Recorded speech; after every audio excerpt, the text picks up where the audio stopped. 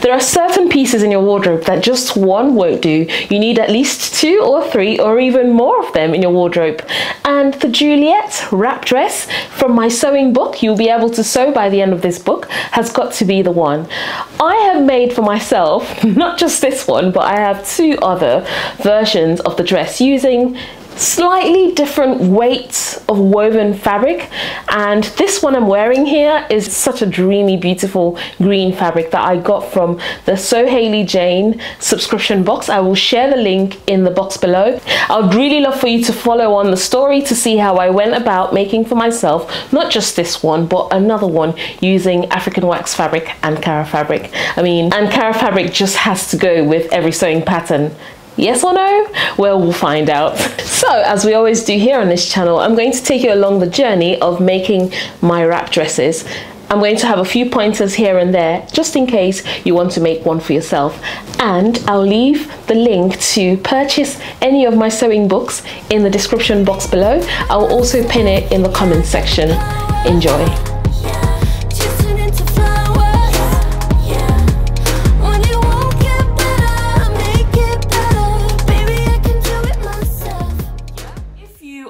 This wrap dress and you watch this video, please do not cut the front skirts in like on the fold. Just cut one piece for the left and one piece for the right.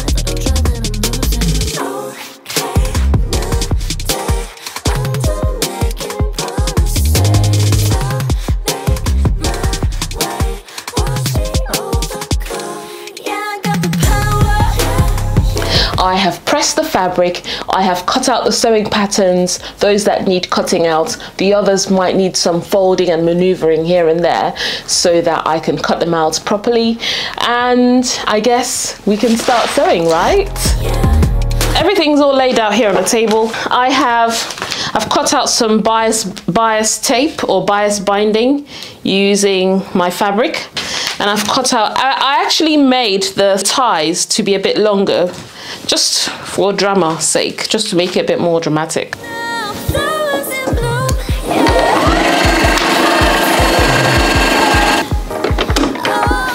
It's all threaded now and I have stitched the front bodice to the back bodice.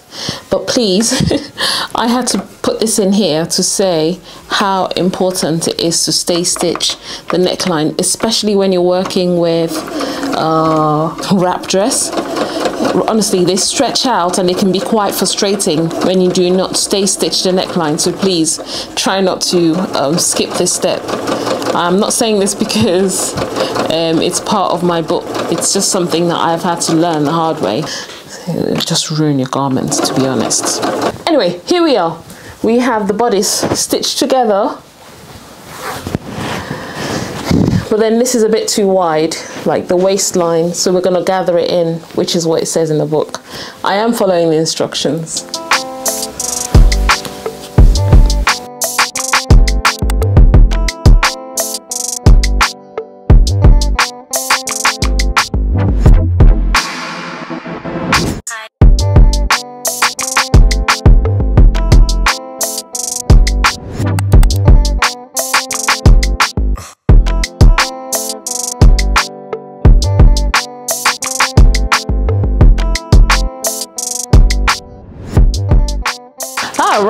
it's a new day. You can definitely tell from where what i'm wearing.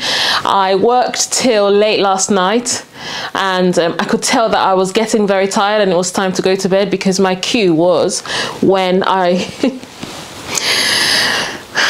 okay it's a new day. I joined two pieces in order to make the, the waist ties a lot longer. Well, not a lot longer, but moderately longer and mean so you know when you join these two pieces together you join them together I didn't even press them. So I I went on to um, stitch this together to create a tube. And guess what? If I continued stitching this together I would have had the um, seam on the right side. So I needed to unpick so I just um, stopped the whole process paused and went to bed. So I've actually just come back from a few errands and I'm just going to continue with the project. Where's my seam ripper? got the seam ripper. Let's unpick.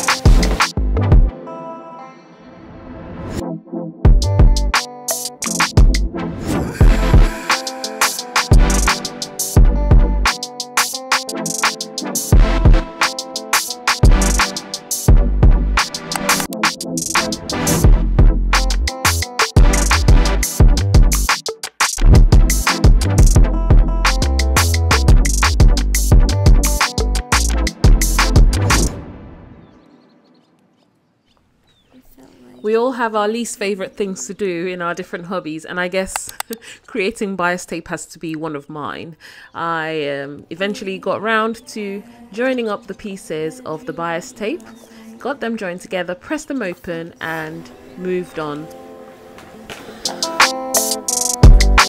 Seeing as this dress hasn't got actual sewing sleeves the sleeves are grown on you would have to finish off and stitch the side openings or the side seams.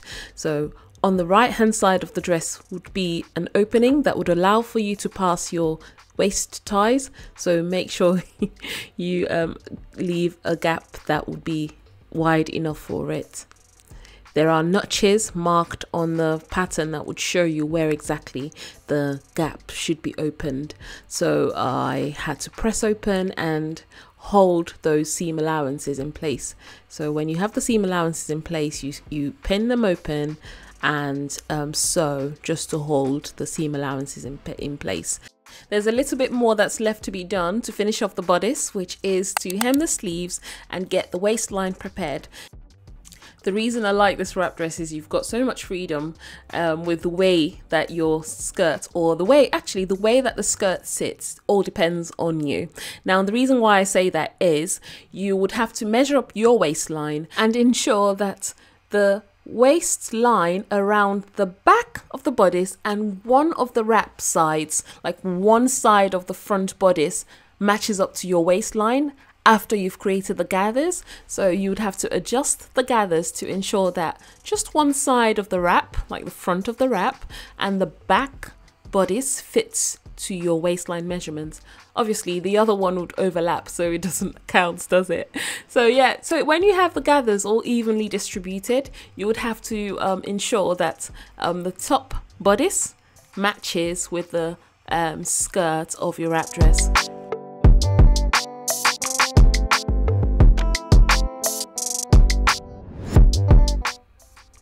If you take a look closely, you would see that the neckline has the potential of curling up so badly because of the gathers that have happened at the waistline. This part needs to be controlled by you. So first thing would first things first, we would um, get the waist ties attached and basted. You can baste it by hand or by machine, um, or you could just pin it in place. But it's best to baste it just to make sure that you do not have too many pins in place. Um, and you'd notice that the top of the waist ties go exactly where the seam allowance is going to be.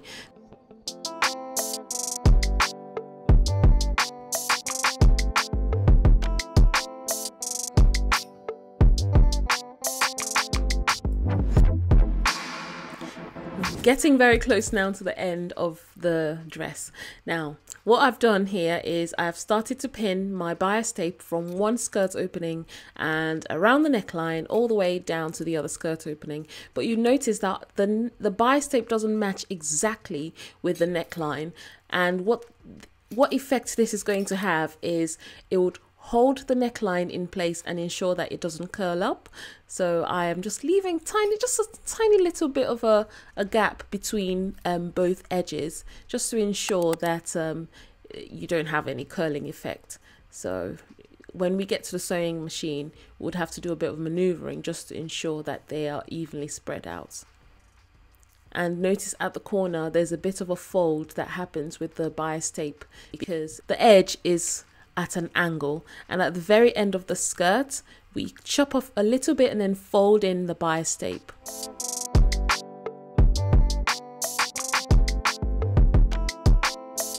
And now at the sewing machine, notice how I am maneuvering to ensure that the excess fabric on the neckline e just it kind of sort of eases itself into that um, bias tape. So because the bias tape has a bit of stretch to it, doesn't it? Because it's cut at the bias. But um, this is this this part here is just a skill that is really important for all all, all people who sew. And when you work with bias tape, you don't want the bias tape edge to match exactly with the edge of the neckline.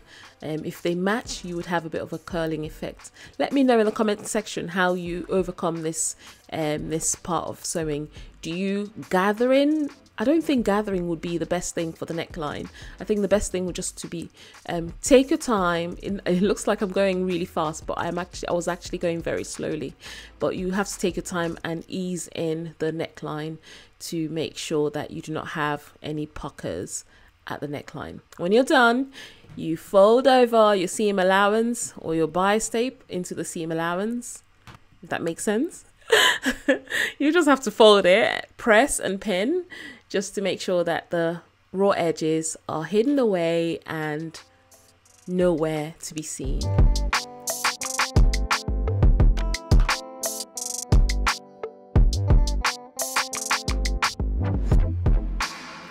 So at this point I had to go ahead and stitch the bias tape in place and after stitching it, as I always do, I find a way to throw in some chaos, don't I? well not chaos, I like, just like twin needle look. Well I had to stitch an extra um, top stitch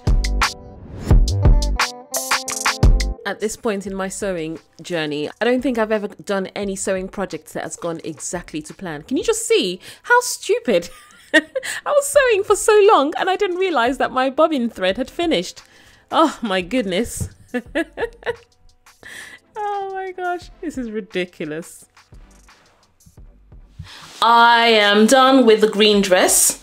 I realized that if I can make one for myself using that green beautiful linenish kind of fabric, linenish? Anyway, using the beautiful green lush fabric, I can make one using Ankara fabric. So I'm going to make one in Ankara fabric. This fabric here. It's actually giving me winter, autumn winter. So I think it'll be perfect for um, transition times from summer to autumn. I can layer it up using like a black turtleneck, ooh, or a mustard turtleneck sweater. Sweater? I'm going to use this fabric. I decided that I am going to include pockets in both sewing patterns, but what I didn't mention earlier on was that I have pocket templates in the book. The pocket templates, um, well, you get four different pockets. However, the closest that you would have to an inseam pocket is not in the book because I already have an inseam pocket like this here. It's a free resource that you can get from my website my resource web my free resource website. It fits on an a4 sheet of paper so you can just print one for yourself and use it for different projects. I don't think it's I, think every sewing pattern does not have to come with pockets. People should have the freedom to put whatever type of pocket they like on whichever sewing pattern it is or whichever garment design it is. So that's that's my thought process. Um, everyone thinks differently clearly. So um, oh the, the one that comes in the book looks like this.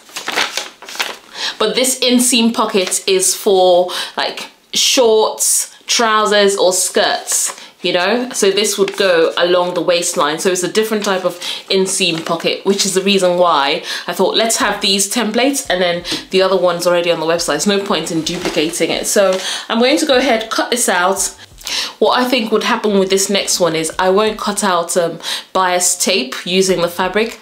I'm just going to use my pre-made black bias tape. Because I mean I have a roll of it and I hardly use it.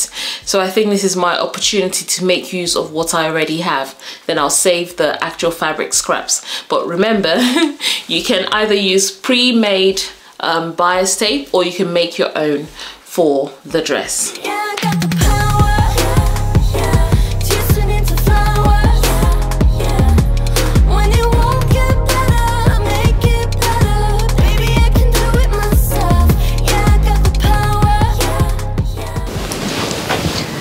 gotten to the point now where um, wearing this dress has finally motivated me to finish making this one. So I'm going to jump right into making this finish well finishing off this dress. Currently I have inserted pockets um, to the side seams. I have stitched two rows of um, you know loose stitches for the gathering. And yeah, the skirt is more or less ready. I have finished the raw edges as well. I guess I need to give it a press.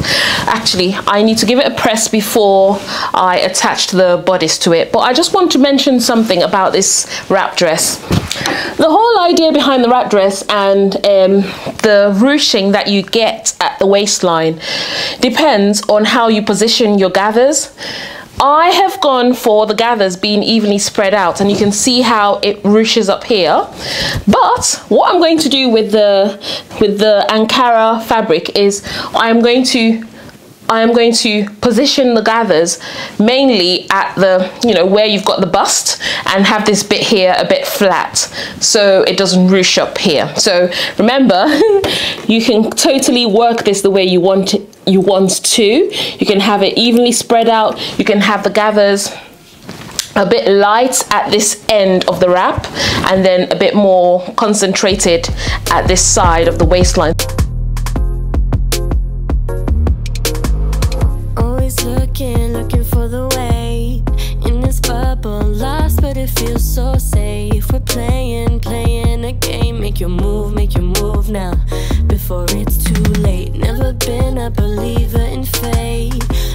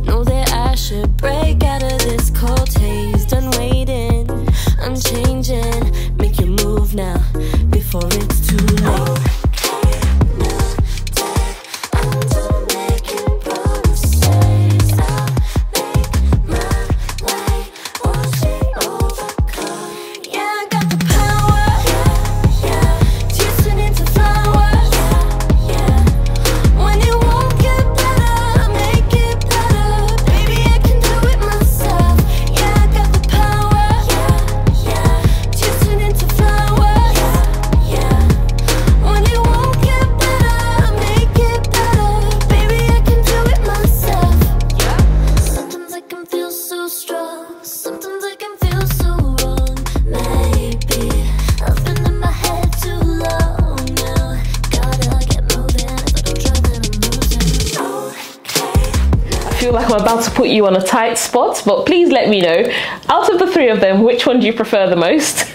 it could be just because of the color, it could be because of the drape of the fabric, or it could just be because of the look of it generally. Let me know in the comment section below. Do you like the green one, the pink one, or the African wax fabric version? Let me know in the comment section. I've got to say, even though I had varying time scales in between making the two dresses, I just fell in love with making it over again. And I think also finishing off this dress and wearing it gave me that extra boost and motivation to finish off my second one. I really would love to see your versions of the Juliet wrap dress and if, if you do make one for yourself, please tag me on Instagram, TikTok, Facebook, wherever you like to share your makes and your creations. And I look forward to seeing you in my next creation story. Enjoy the rest of your day, everyone, and all the very best. Take care. Bye.